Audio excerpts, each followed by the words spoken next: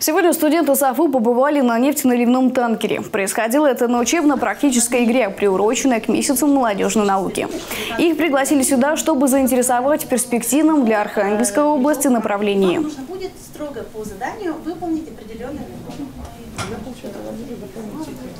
перспективы у нашего региона, в частности, что мы далее будем осваивать э, огромный углеводородный потенциал территории Тимано-Печорской нефтегазносной провинции, то, скорее всего, танкерный флот, как это показывают последние проекты, Варандейский терминал или ворота Арктики, показывают, что мы будем пользоваться морской э, перевалкой нефти. И, собственно говоря, мы готовим, скорее всего, для будущего этих ребят для нашего региона. Благодаря необычной форме обучения зацепить ребят удалось, и они с удовольствием углубились в игровой процесс. Ведь он так отличается от обычных лекций.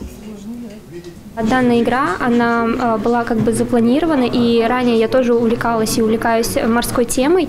Мне очень интересно сама тема танкеров, их очень много, и это очень развивающаяся структура. Вот, очень много танкеров сейчас работает в мире и занимает второе место после трубопроводов по цене. Поэтому это очень перспективное направление, и я считаю, что я бы вполне могла работать в такой сфере. Можно только позавидовать возможностям, которые дарят студентам САФУ. Ведь позаниматься на тренажерах максимально приближенно к реальности удается далеко не многим. А вот увидеть результат такого обучения мы сможем уже через несколько лет, когда университет выпустит новое поколение молодых специалистов.